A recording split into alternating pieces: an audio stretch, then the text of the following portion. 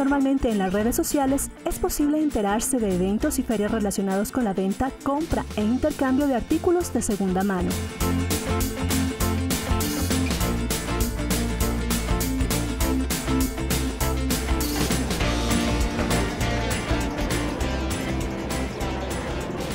Sabes que yo soy de Alemania y en Alemania es muy común estos mercados de pulgas. Y a mí siempre me han gustado eh, porque, porque son divertidos y también porque me parece algo ambiental, porque se venden todas las cosas de segunda mano.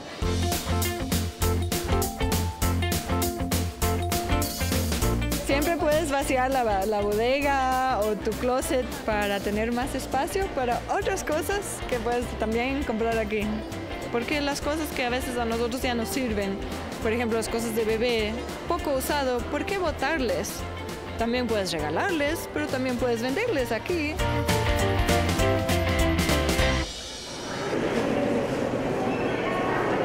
Mientras esté limpio y, bien tenido, sea bienvenido.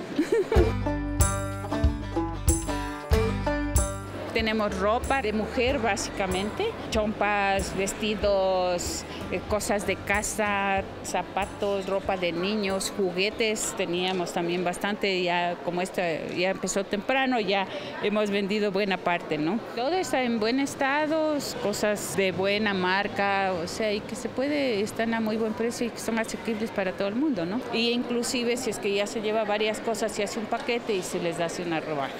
Los vestidos igual, hay vestidos de todo precio, tienen de 30, 40, 50, 100 dólares, 200 dólares, puede llevarse en 5 dólares. Ahora, más que nunca que estamos en crisis, pienso que es una oportunidad que la gente saque las cosas que tiene en su casa que más le ocupan espacio y se llenan de polvo, que traiga acá y, y las venda a gente que que no tiene para pagarlo, no tiene para comprarlo y quiere lucir bien y que quiere vestirse bonito, entonces viene y compra algo por 2, 3, 5, 10 dólares.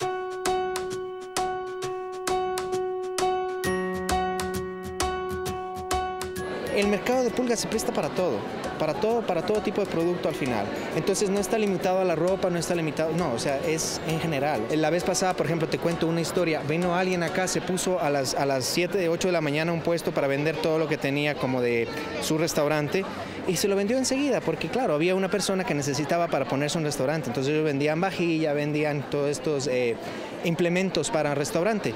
Se lo llevaron enseguida y él se fue contento a las 11 de la mañana.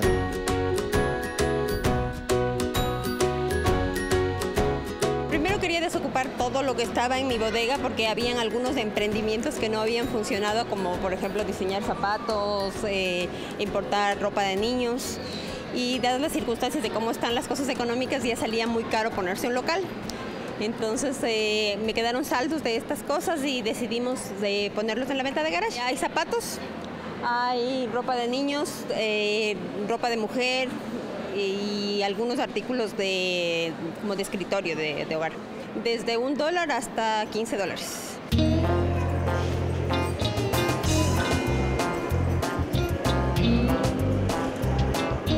Vine para vender algunas cosas que ya no se usan en la casa y también pude encontrar cosas que me sirven a mí en cambio, que otras personas ya no usan.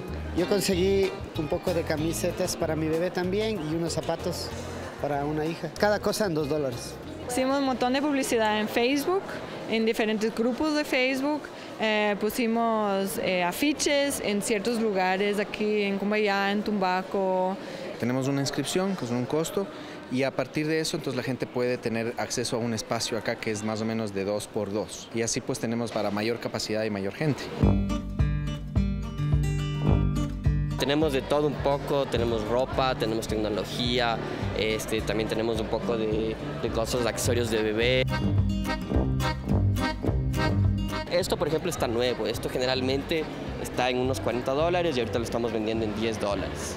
Tenemos estas lámparas que cuando tú pasas la mano se prenden solas. Eh, tenemos accesorios como igual les comenté para bebés. Estos son un calentador de, teteros. Este está en 30 dólares. Normalmente está como unos 60, por ahí más o menos. Ajá. Estas cosas para la construcción, por ejemplo, esto es una pulidora. Esta pulidora generalmente está en unos 200 dólares, me parece. Ajá, eh, por el precio de ahora, en 30 dólares exactamente. Ajá. Este tipo de zapatos te salen normalmente en 100 dólares aquí en Ecuador, pero por el precio de feria están en 20 dólares. Ya son zapatos que están usados, zapatos de segunda mano. Están en un muy buen estado, exactamente. Todo está de 5 dólares entre camisetas, camisetas de manga larga y los sacos y como ropa un poquito más pesada de, de 10 a 15 dólares. Se puede vender todo, menos armas, alcohol y animales. Sí tenemos un stand, pero es para adoptar perros, no, no para, para vender animales. Las reglas, vender cosas a buen costo o bajo precio. La gente tiene tesoros en sus casas, en sus bodegas, y esos tesoros son los que queremos que se vendan acá. Como esta guitarra, que es un tesoro prácticamente, y que, y que, y que yo necesito, que yo estoy buscando y que yo quiero recuperar de alguna forma. Entonces lo puedo tener ahora a un buen precio. ¿Cuánto cuesta la guitarra? 50 dólares te sale. 50. 50, sí. Ya bien, me la llevo. Ya, perfecto, ya te lo pongo en el estuche. Muchas gracias. Gracias, hermano. Eh, Van las prendas desde un dólar hasta máximo un terno de hombre o de mujer que te cuesta afuera unos 40, 50, 100 dólares. En, nosotros vendemos máximo a 10 dólares.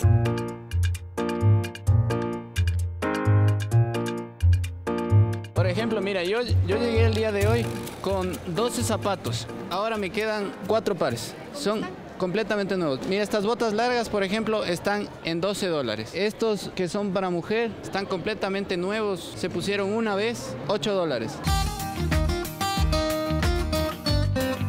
Y la primera venta de garage que nosotros fuimos fue por el sur.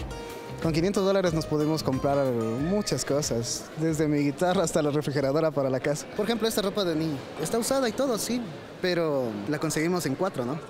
En cuatro estaba esta, ¿no es cierto? En uno, en un dólar.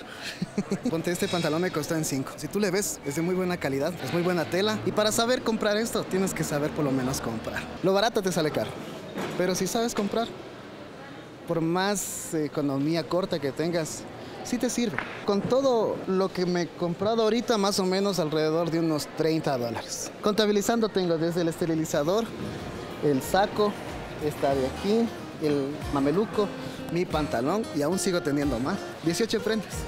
Y mi esposa aún sigue recorriendo todos los stands.